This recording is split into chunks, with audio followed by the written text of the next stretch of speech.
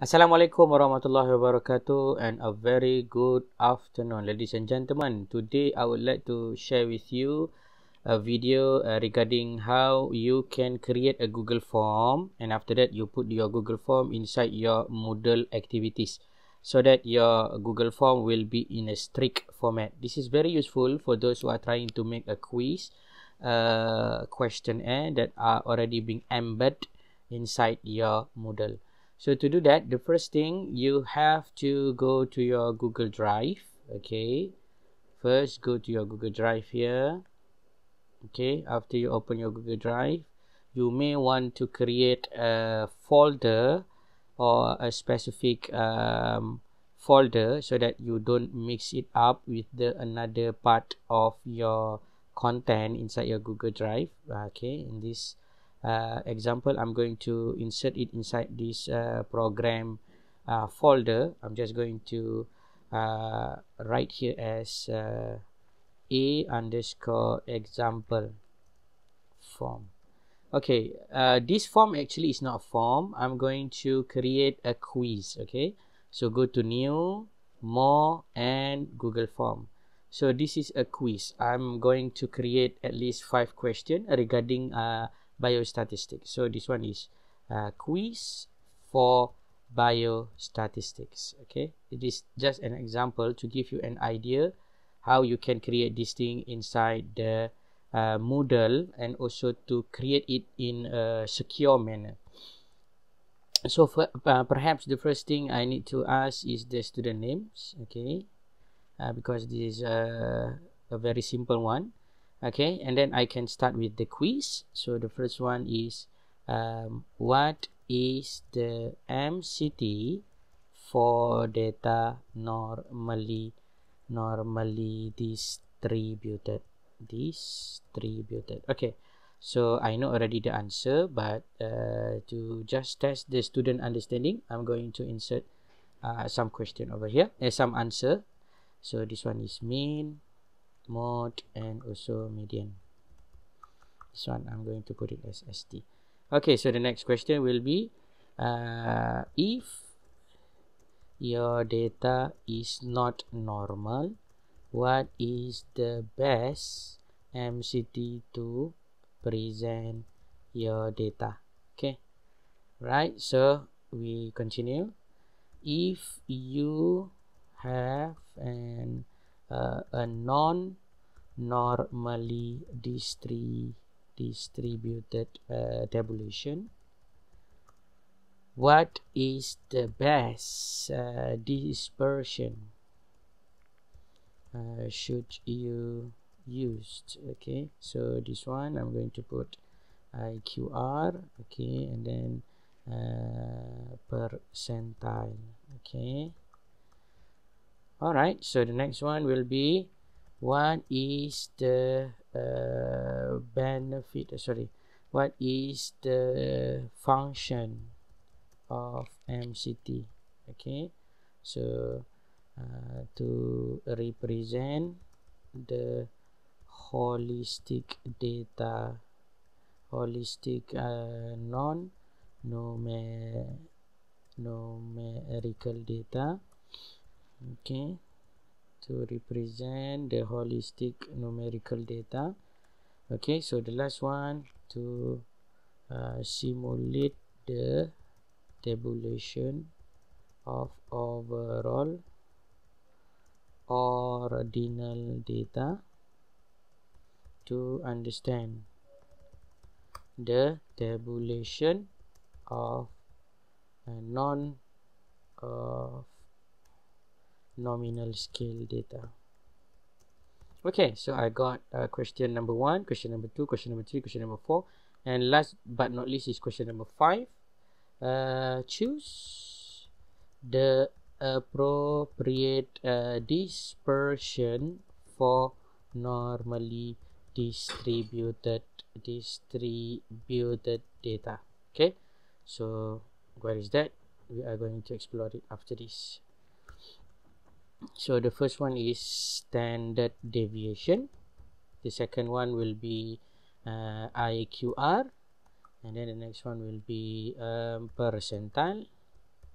And then the last one will be perhaps you want to mean minimum. Okay minimum.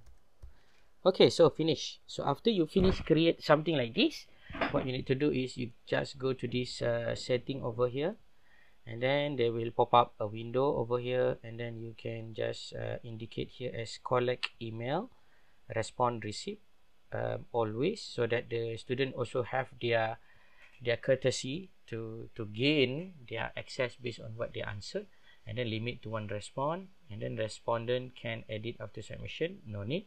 And then we can just proceed to the quiz tab make this a quiz release grade immediately after each submission. Yes miss question no need. Correct answer no need. Point values of course. Then we can put save over here. And then the google drive are going to address a certain thing.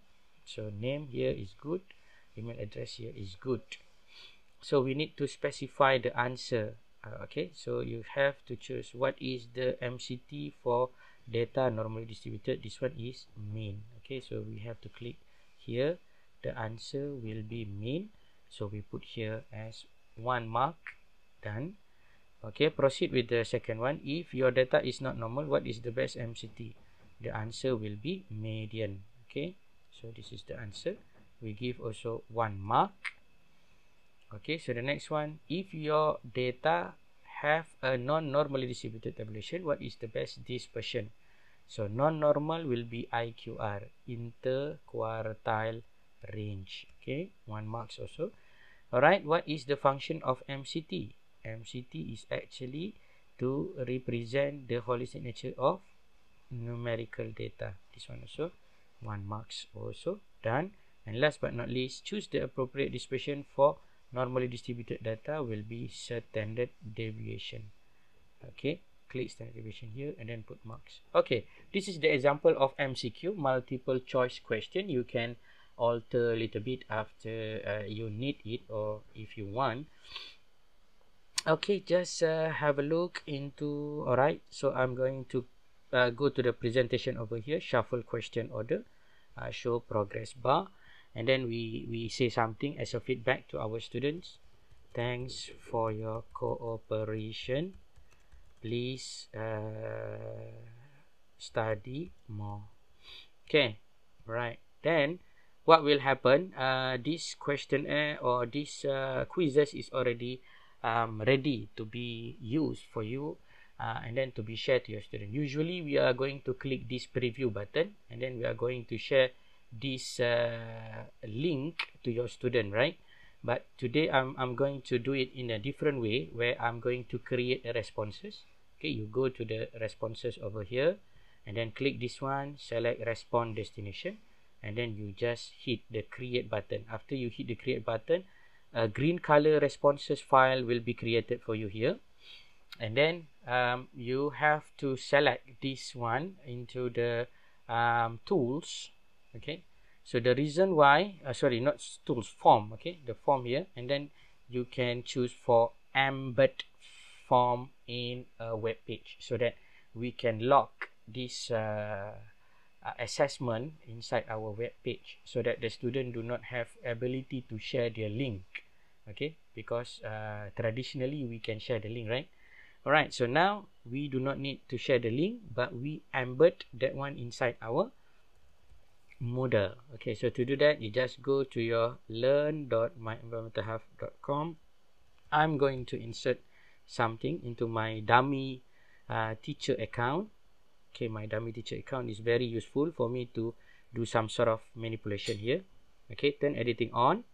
And then perhaps i'm going to insert one section. This is the example of um, we call it as uh, google drive quiz. Okay so just put here add an activity. Okay what you need to choose actually you have to choose the page. Okay so that it's become perfect for you. So you can just write here quiz mct and then under the page content over here you have this button. Click this button. And then you can request for this code. Okay line of the html coding. And then paste those uh, file or those uh, um, those link that you just copy from the Google Sheet inside here. Okay, I made a repetition.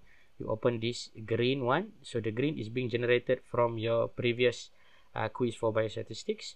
And then go to your add-on uh, sorry form and then go to the embedded uh, form in the web page. Copy that one and then embed accordingly. So you can make it um, you can adjust it accordingly. But uh, for this uh, exercise I'm just going to do it robust so after you put uh, save as so it's become like this. Okay it's it's it's lockable. So the student cannot um, cannot share it cannot manipulate it in any way. Um, they can just uh, go inside it and then uh, log in into it and answer accordingly. Okay i'm just going to share with you the idea. If i'm going to uh, become a student this is the example of student account.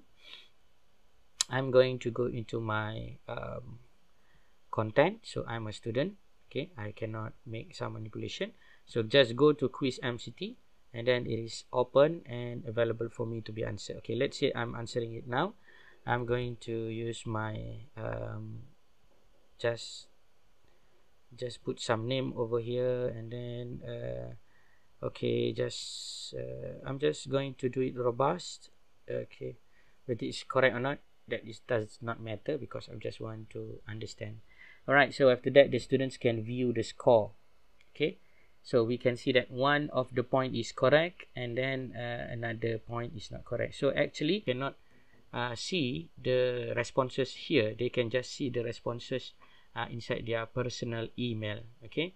If the students go into their personal email for example okay uh, but usually not all the students know already how to update the link uh, just like what I did just now so the students can go to their personal gmail account for example uh, to understand what is their score okay? So thanks for filling out. So this is the score that already being uh, given for the students okay?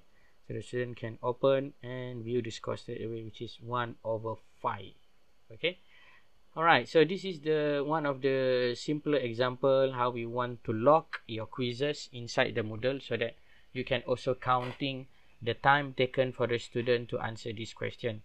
Uh, the quiz is started based on the specific time so if they miss then uh, they will not get the score. So that is the idea guys how to make a quiz and then how to embed that quiz inside your Moodle so that it's become an interactive Moodle platform for your student. With that hopefully you can enjoy this video and try to do it by your own. See you next time. Assalamualaikum and a very good afternoon. Thank you guys. Bye bye assalamualaikum